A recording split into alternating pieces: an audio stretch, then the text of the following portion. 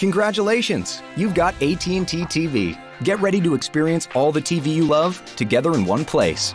Let's explore how to watch live TV, where to access your recordings, discover on-demand content, and enjoy your favorite apps. First, let's watch live TV. The adventure begins. Access all your live channels with the guide found on the top bar menu. Or simply use the guide button on your remote. Go to Watch Now. There you'll see the last 15 channels you enjoyed. Press the play button or select OK on a show to begin enjoying the full screen live TV experience.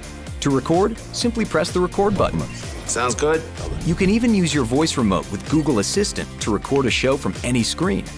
Record Mr. Mercedes. Sure, I'll add Mr. Mercedes to your AT&T TV library. Click on My Library to find your recordings and clear your schedule because you can now record up to 500 hours on your cloud DVR.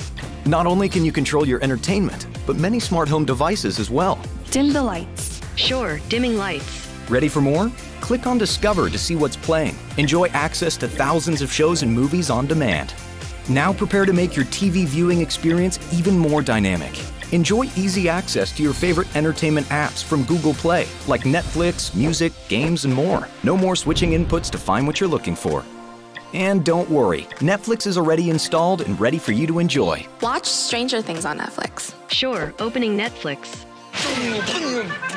Plus, you can access over 5,000 popular apps in the Google Play Store, from music to movies to games. And don't forget, you can stream your favorite shows and movies anytime, anywhere by downloading the AT&T TV app on your mobile device. There you have it. You're ready to go. Cheers. So sit back and enjoy all the TV you love all in one place. Thanks to AT&T TV.